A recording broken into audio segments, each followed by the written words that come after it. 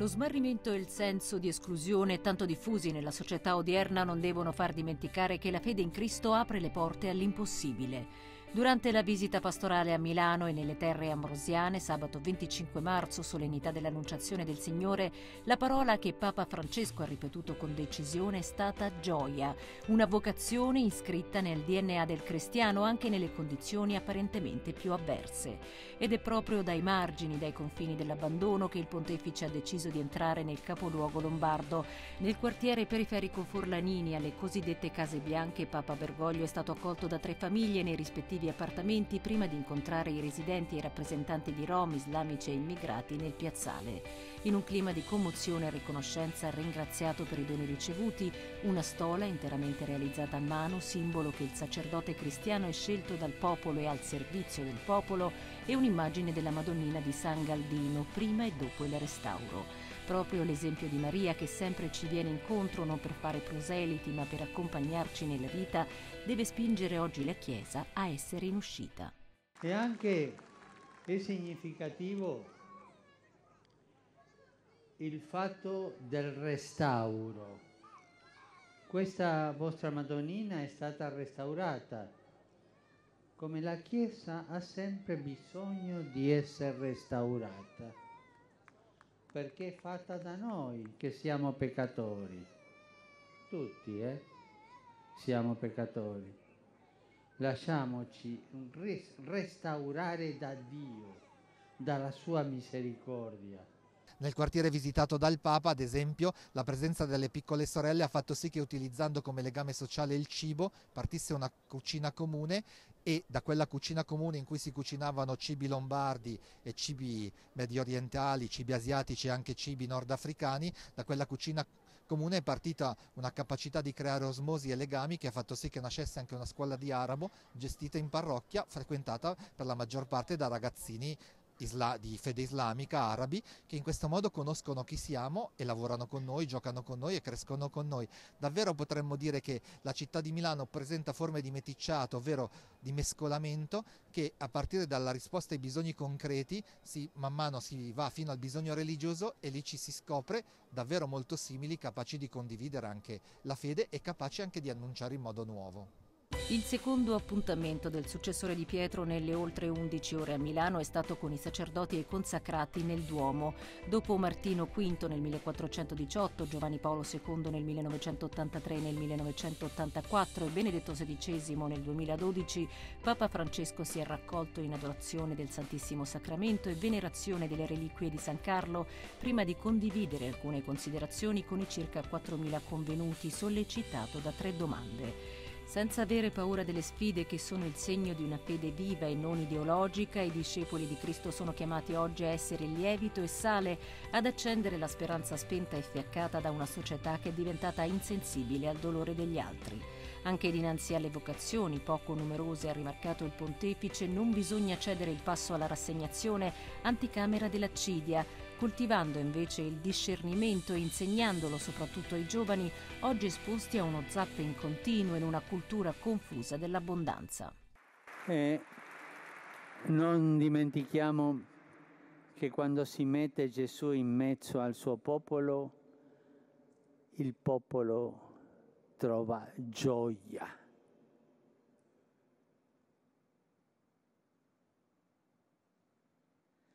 Sì, Solo questo potrà restituirci la gioia e la speranza. Solo questo ci salverà dal vivere in un atteggiamento di sopravvivenza. Per favore no, questo è rassegnazione. Non sopravvivere, vivere le sfide per la Chiesa di Milano sono le sfide di tutte le chiese, in modo particolare la sfida più grande è mostrare la gioia del Vangelo. Milano è una terra che è stata davvero vivificata dalla vita di tanti santi pastori e di tanti santi fedeli. Dobbiamo semplicemente guardare a loro, guardare a coloro che prima ci hanno preceduto e ci segnano la via per essere testimoni credibili dell'amore del Signore. Il fatto che ci sia Papa Francesco è proprio il segno dell'unità, l'unità in una Chiesa che è, mm, eh, che si differenzia in tante forme, però è l'unico corpo e questo credo che sia davvero molto importante per noi. Ecco, avere tra noi Papa Francesco è confessare insieme a lui la nostra volontà di riprendere il Vangelo come carta magna del nostro essere Chiesa. E dobbiamo davvero essere questo quinto Evangelio, ma non per vantarci di essere qualche cosa, bensì per non tradire il nostro essere di Cristo. Dopo aver guidato la recita dell'Angelus sul Sagrato del Duomo, Papa Bergoglio si è recato in visita al carcere di San Vittore dove ha trascorso due ore portando una carezza gentile tra tante situazioni di sofferenza, conforto per le ferite dei detenuti con i quali ha pranzato nel terzo raggio. Se quei mondi noi li lasciamo abbandonati a se stessi, separati, ci perdiamo tutti, ci perdono loro perché rimane una povertà senza speranza, ci perdiamo noi perché perdiamo incapacità di incarnazione. Il viaggio del Papa è bello perché cuce insieme diversi luoghi, appunto la periferia, poi l'incontro con i preti, poi il carcere, poi l'incontro col popolo, poi l'incontro con i giovani. Il messaggio è quello che dobb- dobbiamo tornare a cucire, dobbiamo continuare a cucire e quello che effettivamente in questi anni stiamo facendo nelle carceri, questa operazione di cucitura, utilizzare attraverso la presenza dei cappellani la possibilità di portare la gente che vive la vita quotidiana a incontrare quel mondo, ad ascoltare come in quel mondo davvero ci, proprio perché è un mondo in emergenza, è un mondo dove la gente rilegge la propria vita, ci sono cammini di conversione e spinte, capacità di rilancio e di rinascita che fuori è molto più difficile vivere, per cui l'incontro effettivamente col mondo delle carceri diventa significativo per questa capacità di contagio che non dobbiamo perdere.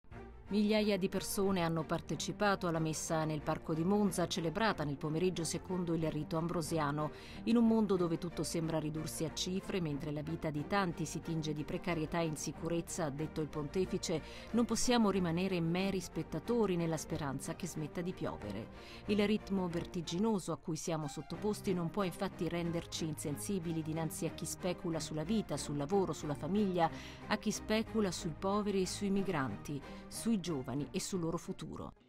Dio continua a cercare cuori come quello di Maria,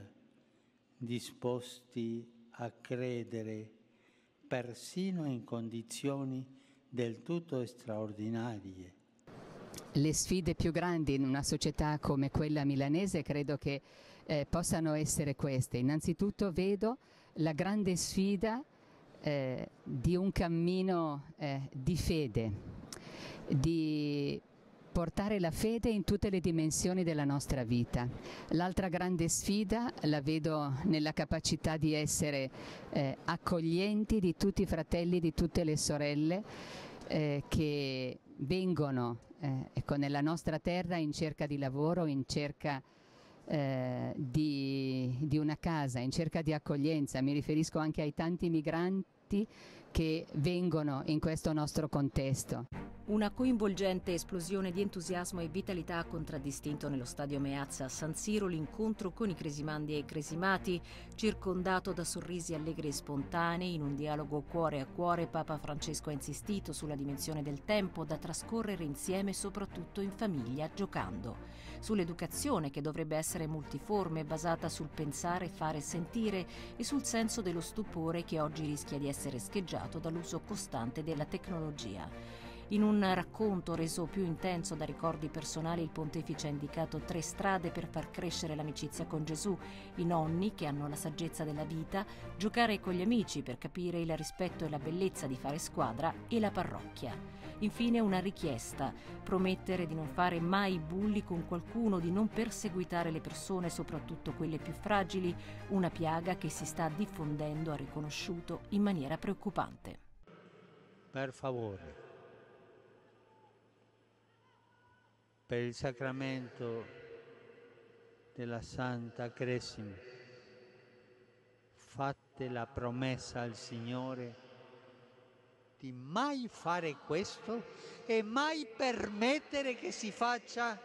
nel vostro collegio, nella vostra scuola, nel vostro quartiere. L'incontro con i cresimandi nello stadio di San Siro, è un appuntamento significativo per la diocesi di Milano, lo si celebra da decenni, è il momento in cui dei ragazzi che non riescono a vedere il ministro ordinario della Cresima che è il loro vescovo, lo incontrano e quell'incontro ha il valore di far vedere che allo stesso tempo è una chiesa che li accoglie e li invia. Diventa significativo questo incontro alla presenza del Papa, lo è stato ad esempio eh, molto con, anche con la presenza di Papa Benedetto XVI, perché questi giovani vedono il successore di Pietro e in lui trovano la conferma di quel coraggio a cui tutta la diocesi li invita, un coraggio che in questo momento è ancora più forte perché vivere la fede a quell'età, in quel contesto di cambiamento antropologico legato a tutto il mondo del digitale, al mondo della ricerca scientifica che loro sentono molto, diventa una sfida importante.